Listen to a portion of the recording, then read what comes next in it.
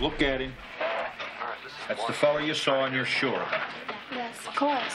What was he wearing? A red jacket and jeans. Designer jeans. He looked very neat.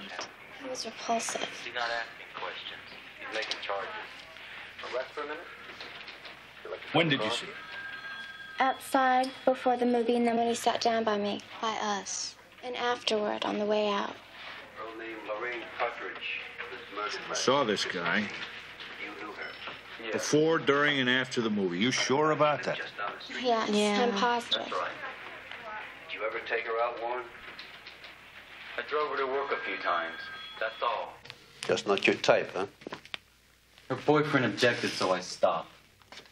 The girls you talked to in the movie theater, were they your type? No.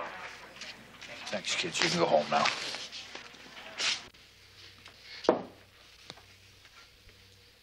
When's the last time you made it with a girl, Warren? That's none last your... week, last month, last year? I refuse to answer. Never. You never made it with a girl because girls won't have anything to do with you, but you get back at them, don't you? Betty and Karen and God knows how many more. I won't listen to your filth. I won't listen What's to this, Warren? Warren, do you recognize this? Leo, What's knock that, it off. Warren? You ever see one of these before? What's it used for? What's the matter? Cat got your tongue? It's for jacking off, isn't it? And these pictures, you recognize the girls on the pictures, Warren? Look at them.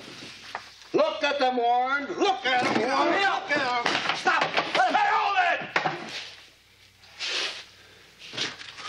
You Go home, kid. Get him out of here. Think you better quit while you're ahead. Now get him out of here. Leo, you lost your mind? You can forget about this. And what, I gotta remind you about evidence obtained under duress? It's inadmissible, Leo. Right.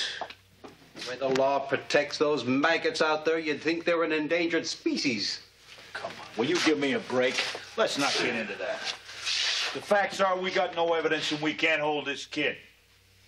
He's got an ironclad alibi.